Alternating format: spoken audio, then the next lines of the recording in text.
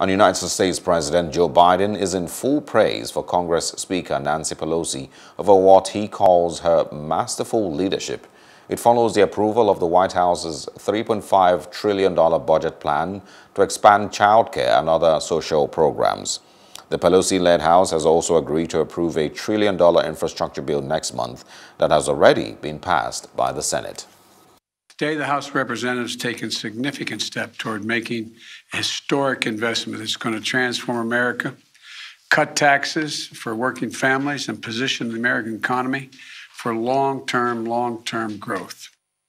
Right now, our economic growth is leading the world's advanced economies.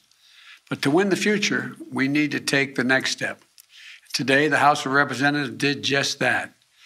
The, today's vote in the House allowed them to consider my Build Back Better agenda, a broad framework to make housing more affordable, bring down the cost of prescription drugs by giving Medicare the power to negotiate lower prices for drugs. I want to thank Speaker Pelosi, who was masterful in her leadership on this, and Leader Hoyer and Whip Clyburn and Chairman DeFazio, the entire House leadership team for the hard work, dedication, and determination to bring people together so we can make a difference in people's lives.